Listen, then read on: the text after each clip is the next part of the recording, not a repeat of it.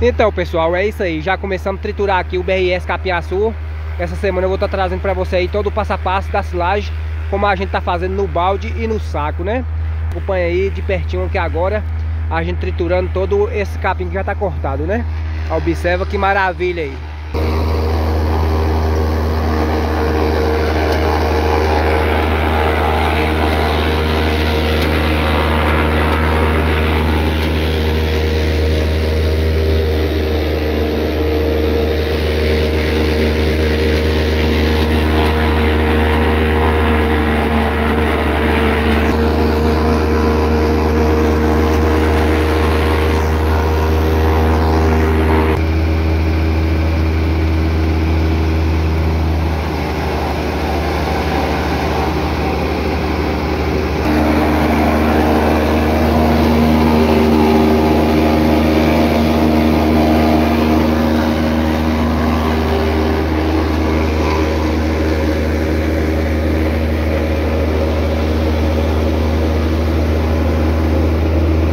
Então, pessoal, é isso aí. Que maravilha, né?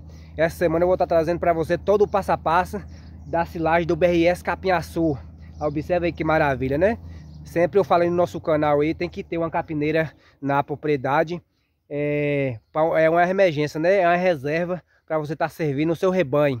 Assim, quando faltar comida nos piquetes, aí você tem a reserva, né?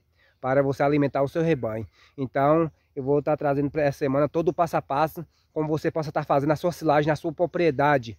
Então, pessoal, se você observar, né, a gente está cortando aqui bem baixinho, rente ao solo, né? Observa esse toquinho que está sobrando aqui.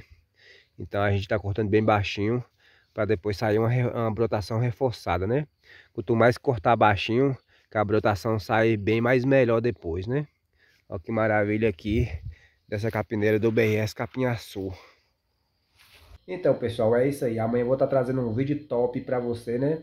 Como você possa estar guardando esse volumoso aí triturado dentro do balde, né? É uma silagem aí do BRS Capinhaçu. Deixar guardadinha dentro do balde para ficar curtidinha, né? Para você estar servindo os seus animais é, após aí de, de 15 a 20 dias. Então não perca esse próximo vídeo. Você que é novo no nosso canal, já vai se inscrevendo aí, ativa o sininho para não estar perdendo esse vídeo aí e tá pegando todo o passo a passo é, da silagem, né?